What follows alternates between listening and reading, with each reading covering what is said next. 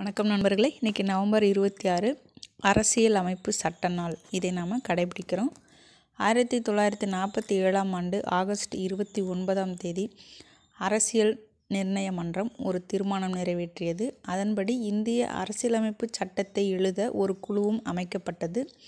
இந்த குழுவில் ஏழு பேர் இருந்தாங்க. இதற்கு தலைமை பி. அம்பேத்கர் அவர்கள் N Gopalaswami Ayyangar Alladi Krishnaswami Iyer K. M. Munshi Syed Mohammad Saadulla N Madhavarao T T Krishnamachari இவர்கள் இந்த குழுவில் இருந்தாங்க.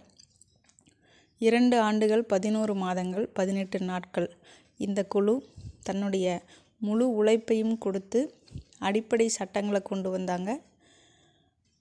பல்வேறு மக்களாட்சி நாடுகளிலிருந்து இந்தியாவுக்கு பொருந்தக்கூடிய நடைமுறைப்படுத்தக்கூடிய சட்டக்கூறுகளையும் இணைத்து இந்தியாவிற்குள் அனைவரும் சமம். வேறுபாடின்றி சட்டத்தின் முன் அனைவரும் சமம். பொது வேலைவாய்ப்பில் சம உரிமை தீண்டாமை ஒழிப்பு பட்டங்கள் ஒழிப்பு சுதந்திரங்கள் பிரிவு சமய உரிமை சிறுபான்மையினரின் பண்பாட்டு கல்வி.